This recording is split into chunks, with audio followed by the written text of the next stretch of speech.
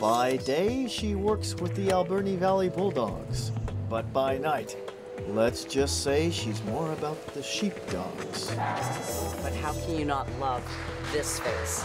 Jolie loves her dogs, be it bulldogs or sheepdogs. But one thing's for sure, she just can't get enough of them. If I had my way, I would own every breed of dog there is known to man. That's kind of a lot of dogs, Jolie, and a lot of work. What about cats? They're simple. Cats are independent.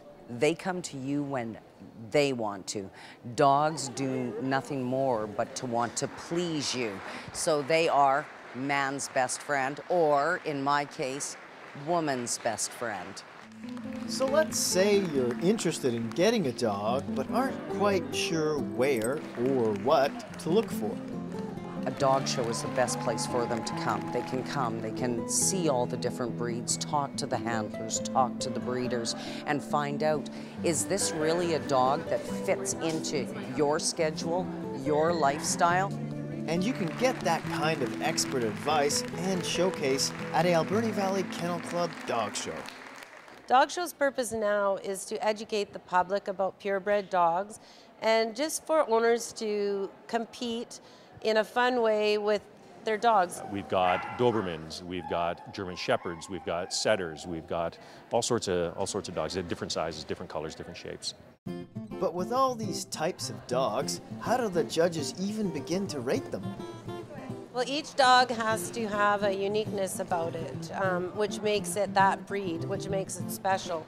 So the judge has to look for those unique character traits, as you will, that suit that breed. The size, how tall it is, uh, the shape of the head, the shape of the ears, what kind of tail it's got, the, the colors in some breeds. Some breeds it's not as important, but uh, how well it stands. It also uh, judges how well the dog moves. So that's when you see them running back and forth and up and down the ring. They're trying to decide, you know, how well is that dog structured by how well that it moves. All this pampering, all this attention. One starts to wonder what the dogs think about all this. These are show dogs. These are dogs that this is their passion. They love being at the shows. They love getting out there and competing just as much as the handler loves being on them and competing. So to them, they go out there, the first thing going on in their mind is, I got a show, I got to win.